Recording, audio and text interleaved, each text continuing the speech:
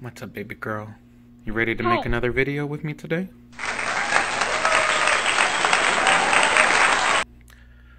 What's going on, guys? It's Nick back with Nikita's Tech Ops, here to make another video for you guys. I know a few of you were interested in a DJI Mavic Mini review, so today we will be taking a look at what is effectively the coolest drone you can possibly buy without having to register it with the FAA. You guys ready to check it out?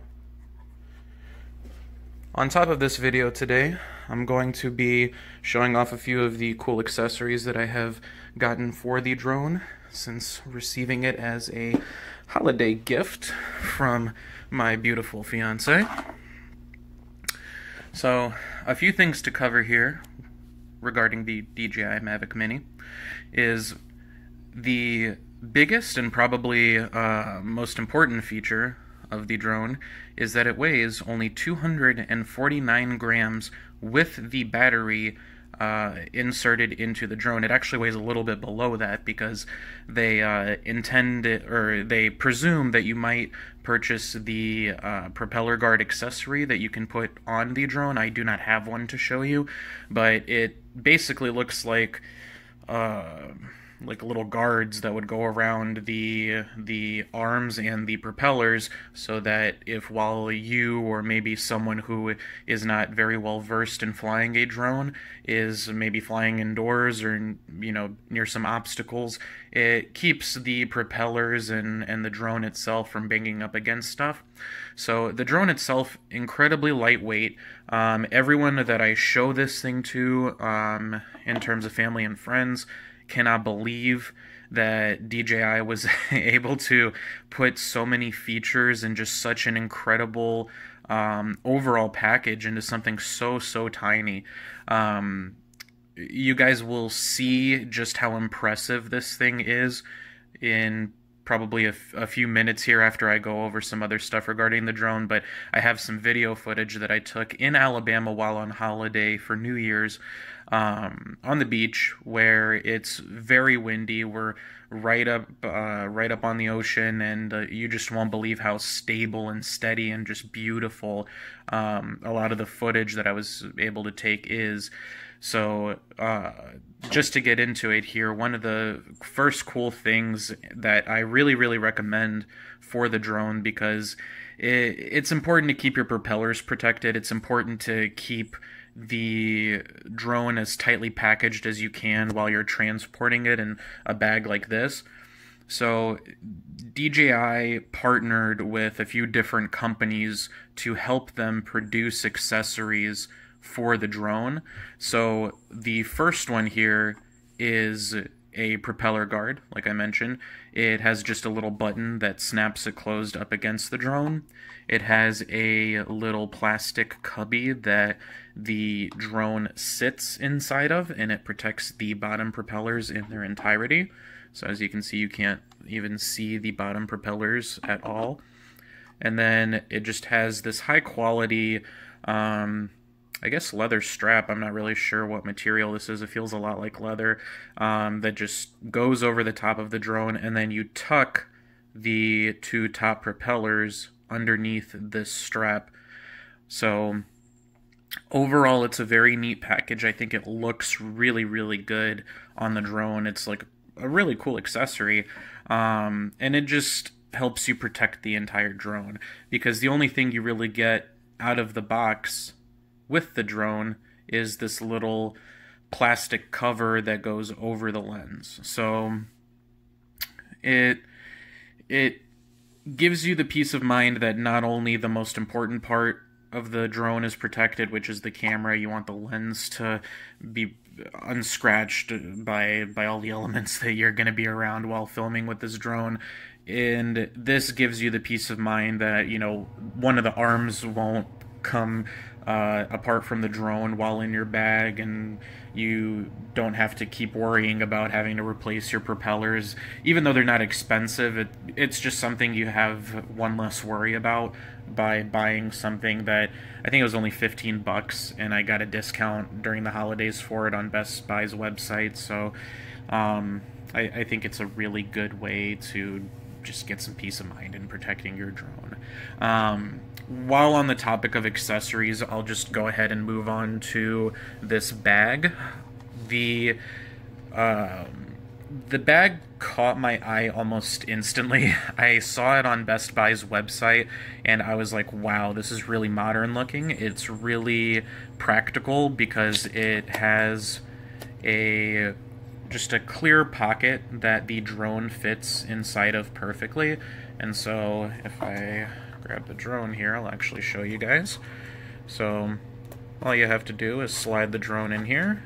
You close this guy, and then you've got just a buckle that keeps that latched and you can see your drone at all times. So it's one of those things that if you look at the bag, like maybe you forgot to put your drone inside the bag, the second you look at the bag and you're like, "Oh crap, my drone's not in there," you'll you'll know to instantly go grab your drone because you can sometimes be in a rush. You might be stopping somewhere to grab a quick video um, just because you saw something cool maybe on the side of the road on a road trip or something and you know you don't want to leave your drone on the side of the road so it's really good to have a bag where you can actually know that the most important piece of your of your puzzle here is is actually with you so I think it's a really practical little window to have to just see your drone at all times make sure it's safe I think that's a really good idea.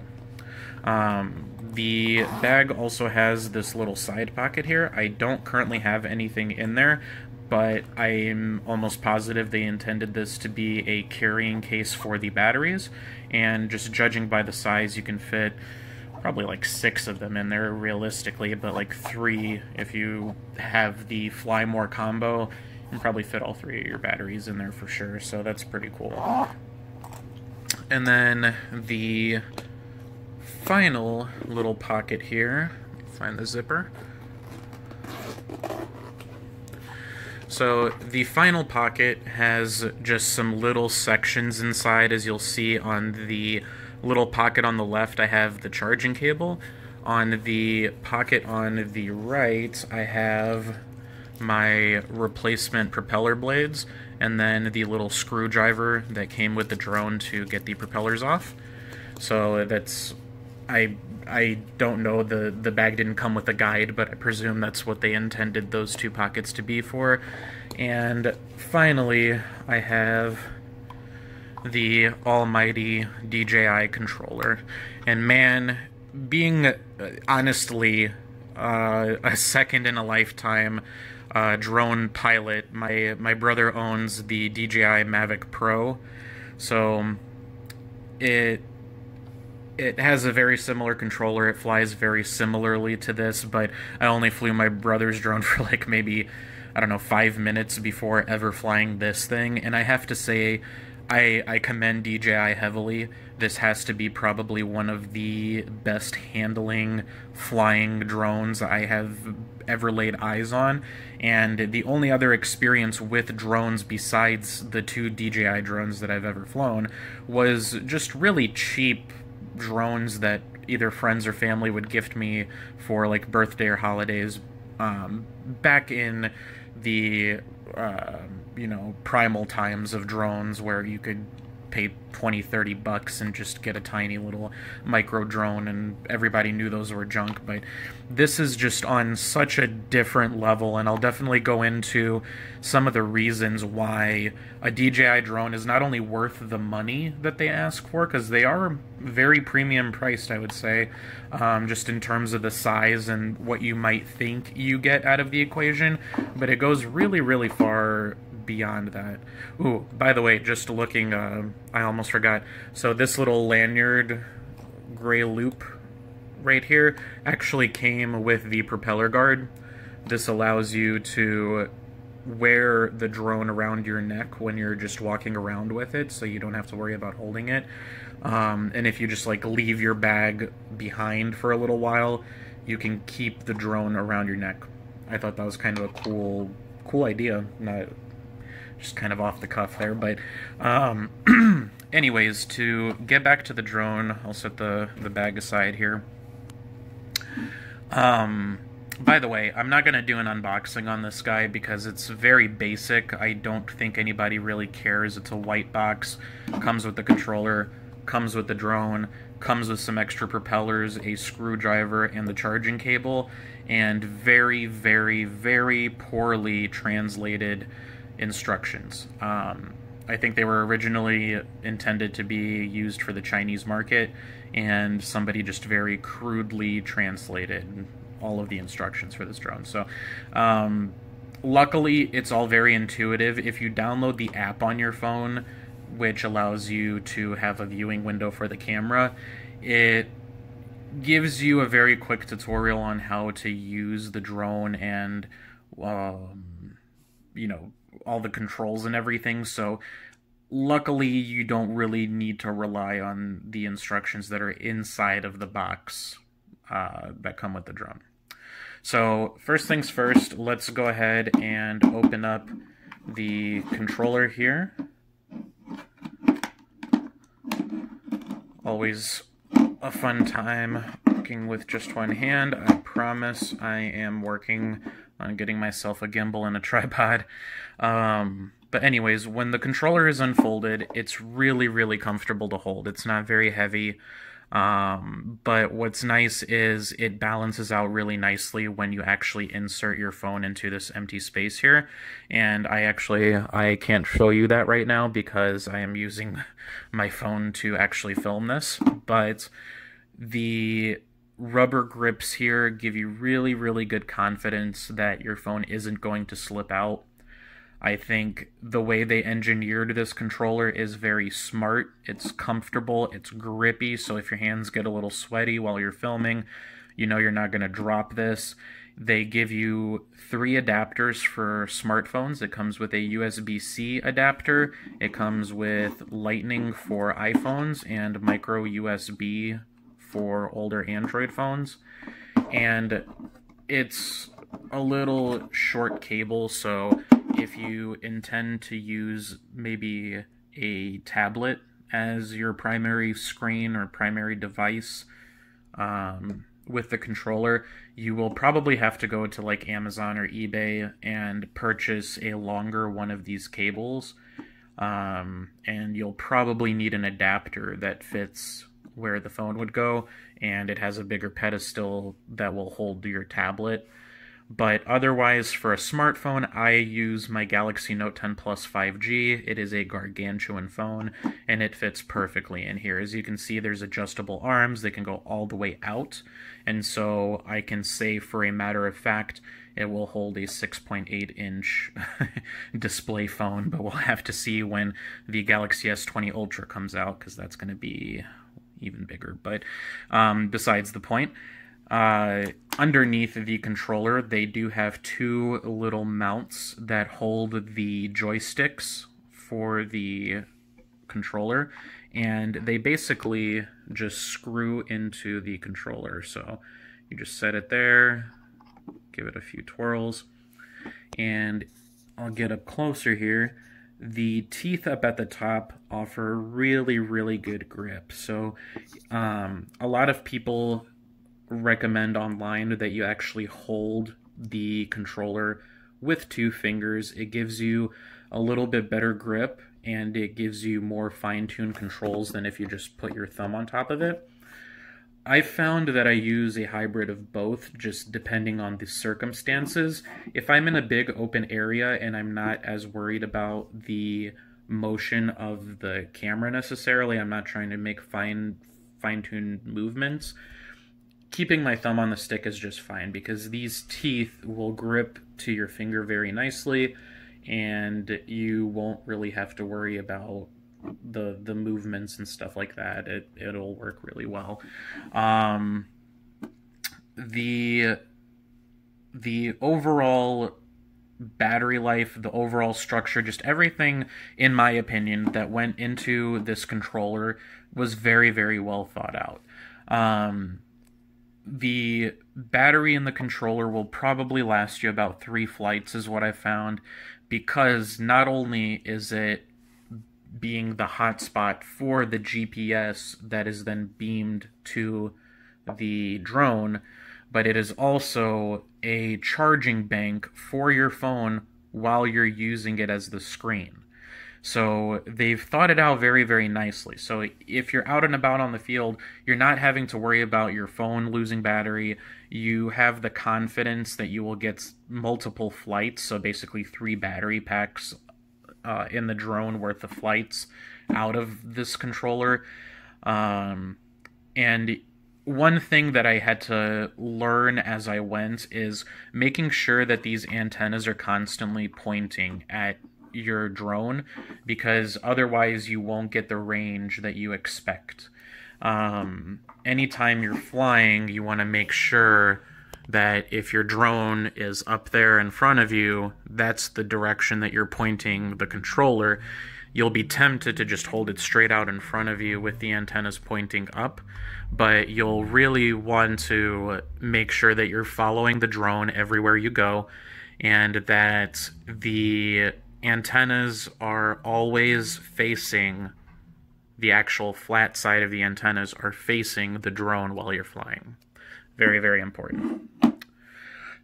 One more thing um, on the controller before I move on is that it's it's meant to be used in two different ways that I also did not know um, going into using this thing until I just started to read some forums and such online regarding the drone. But you can actually use the controller without your phone being plugged into it, which I um, you that might seem like a little thing, but I just went into this assuming that because they give you this whole fixture, it's intended to be used in sync with your phone. But it, that that's not the case. You can fold up these arms back inside, you can power up the controller and it'll automatically pair up to the drone. And you can actually fly the drone just with the controller. Um, and you still get the ability to hone back to where you started. So it still uses the GPS to communicate with the drone. So if you lose sight of the drone, obviously you don't want to go too terribly far away from yourself while you're using this. And I'll go into some other instances where it might not be such a great idea to fly this drone, but you at least have the peace of mind that you can hit this button right here and that will take you back to your starting place, like where the drone took off. And I found it to be actually, as long as you have GPS signal, as long as it's picking up on multiple GPS satellites, it'll basically always ooh, come back within a foot of where you took off with the drone. Alrighty, guys. So, um, done talking about the controller here. If you guys have any questions, feel free to post them in the comments. I will, I will be on there actively. So make sure you ask questions about this guy. Um, ooh, one more thing. So if you guys see these grills down here, um, not only I, I believe these are for cooling, but this guy does have a speaker built into it. The controller has a speaker in it. So does the drone. It beeps to let you know when it's paired up and stuff. I thought that was kind of cool too. So now then, to the drone itself sitting here in its really cool little propeller guard. Let's go ahead and take the propeller guard off. So you unlatch the little strap here, and then the DJI Mavic Mini just simply lifts up and out of it. Like I said, this guy is just a little plastic shell with a leather strap and a lanyard loop so that you can carry it around your neck. Really, really cool little gadget. Highly recommend it. So here's the drone in its teeny tiny glory. Actually, let me do a little comparison here. So this is a PS4 controller. Might do a review on this clear controller later. Not much of a review, but more of just to show it off to you guys. I think it's kind of cool. Um, but anyways, the drone is actually a little bit smaller than the controller in terms of its overall length. Um, about the same height as a PS4 controller. But what's crazy is with this keyboard attached, the drone is actually lighter than the PS4 controller, which is really cool. Um, So as is currently, this is what the drone looks like in its folded up position. It can stand straight up as well. That's one of the calibration poses if it tells you to recalibrate the compass or anything like that. Which that's another thing I can make a video about is like what the calibration of the drone looks like and such. If that's something you guys would be interested in, it oftentimes will ask you to calibrate both the compass and the GPS um, of the drone. So it's kind of neat. Underneath the drone, while I have it stood up here, we have four LED lights, which indicate 25% of the battery per light. So um, while it's flying or while you have it stationary at any time, you can press the button right there and it will tell you what the battery life is.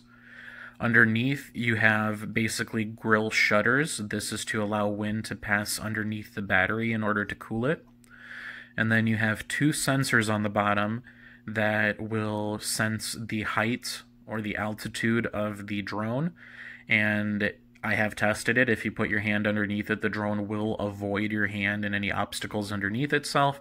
However, the grill slots that are above the camera here, these two black portions, those are not sensors. Those are just aesthetic uh, little pieces. Um, they do not have any function. If you see there, it's just a fake grill. Now then, if we go ahead, we can actually unfold the arms of the drone.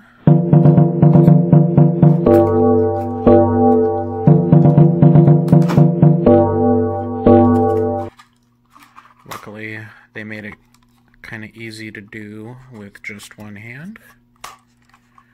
So, there is the unfolded drone now slightly larger than the controller with its folded out propellers. And then one very important thing before I move on, you always want to make sure that you take the plastic cover over the camera off before you power on the drone because the camera will do a calibration. Um, I'll actually show it to you guys. The camera will move around. And let's go ahead and flip this guy over real quick take off the plastic cover. So the camera sits on a stabilized gimbal. So whenever the drone is on, you will actually see the gimbal moving around as you move the drone, and it's consistently stabilizing. Um, in addition to moving side to side and in various degrees of movement, you also on the controller have the ability to control its pitch, so you can have it look all the way below itself and all the way uh, up, basically. So really, really neat. You have the ability to, uh, uh, to have vertical control on the camera rather than uh, having to move the drone physically up and down, which I thought was really cool. Um, but let's go ahead and power on the drone and I'll kind of show you what that looks like. So what you do is on the bottom of the drone here, there is a button. What you do is you click the button once and then you press and hold the button and that will power on the drone. So I'm gonna shift it around in my hands here. So I'm gonna go ahead and press the button once, then press and hold it. And then if you look at the gimbal, it's going to calibrate itself. It moves around. And then if you watch, as I move the drone, the gimbal will actually move to stabilize itself versus the movement of my hand. Really, really cool stuff in such a small package. So, today um, the weather outside is really uh, really cold and windy. Unfortunately the the midwest is uh, having itself some weird winter days. Currently it's going from cold to warm every other day. It's really wild. Um, but it's not weather that i personally want to go out to right now. So rather than taking the drone out right now um, I'm going to, like I mentioned previously, show you guys some video from my trip to Alabama from out on the beach. Um, you'll see the you'll get to see the quality, the stability of the footage. It doesn't have any sound, by the way. This drone does not record sound along with the video.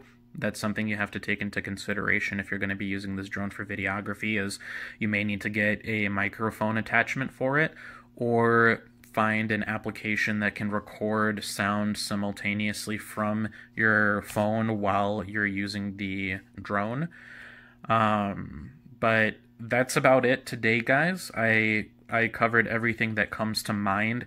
The base that you guys saw earlier that I lifted the drone up from over there that's glowing uh, I'm probably going to do a bit of a separate review for that one just because it, it's a really neat gadget to have. They give you this cool magnetic little attachment for the charging port so that you don't damage it by lifting the drone on and off of the charger, which I thought was really neat. But if you guys have other questions regarding the drone, if you want to see an actual takeoff and what flight looks like in first person, I can do an, another video on that, but I'm I'm getting a little long with this, so and I, I want to be able to show you guys enough video from the drone, so I'm going to go ahead and sign off. Thank you guys so much for watching this. Um, I appreciate it. Make sure you guys subscribe, give me a like, comment down below if you have any questions or if you would like to uh, give your opinion on the DJI Mavic Mini. But otherwise, thank you guys so much for watching and enjoy the rest of the video.